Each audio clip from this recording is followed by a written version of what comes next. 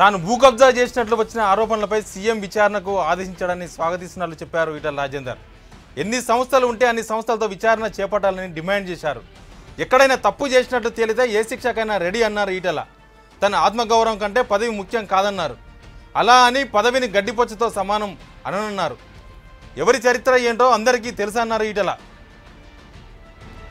రెండు వేల నాలుగు ముందు నుంచే తనకు పౌల్ట్రీ బిజినెస్ ఉందన్నారు మంత్రి.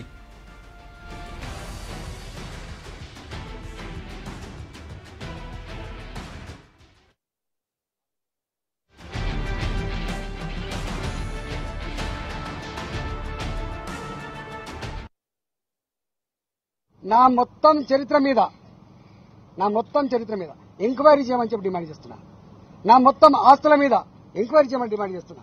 ఎక్కడన్నా కనుక నేను తప్పు చేస్తే ఏ శిక్షకైనా సిద్ధమని చెప్పి మనవి చేస్తున్నా. ఇలా మా ముఖ్యమంత్రి గారి స్టేట్మెంట్ చూసినండి సిఎస్ గారి ఆధ్వర్యంలో ఒక కమిటీ ఎస్ జరగాల్సిందే.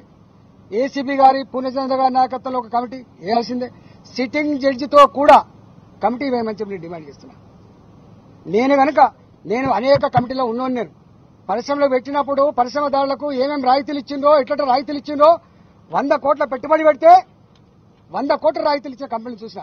కానీ నీ ఐదు పైసల బిల్ల నీ ప్రభుత్వం నుంచి తీసుకునే సందర్భాలు లేవు. ముక్కు నెలలు రాస్తాను నేను. నేను గిట్లాడి వాడి మీద ఆశపడలే నేను. వంద కోట్ల లోన్ తీసుకునే స్థాయికి ఎదిగినంటే నా ప్రొఫైల్ నా ఆస్తి నా కమిట్మెంట్ ఎంత ఉంటుందో వస్తుందో ఒకసారి ఆలోచించేయండి ఇది కాదు నేను ఎంక్వైరీ చేయి. నీకైనా సోయి ఉంటే నీకైనా పద్ధతి ఉంటే నువ్వు పోయి ఎంక్వైరీ చేయాలి. మమ్మల్ని అడగాలి. కలిసి ఎక్స్ప్లెనేషన్ అడగాలి. కానీ ఏది లేకుండా చేయడం అనేది తగదు. తప్పకుండా ముఖ్యమంత్రి గారు దీని మీద పూర్తి స్థాయిలో విచారణ జరిపి నిజానిజాలేదో ఏందో సమాజం తెలియజెప్పాలని చెప్పి నేను కోరుతున్నా ఈ ఈ విచారణ అనేది తేలాలి. నేను ఇంకో ఏమంటున్నా? సిట్టింగ్ జడ్జితో కూడా విచారణ జరిపించమంటున్నా ఇంకేమైనా సిబిఐ ఉన్నదా ఎంక్వైరీ? ఎన్ని సంస్థలు ఉన్నాయో ఈ గడ్డ మీద అన్ని సంస్థలతో ఎంక్వైరీ చేయించండి. నిజాలు తేల్చండి. నాకు గనక ఉంటే దానికి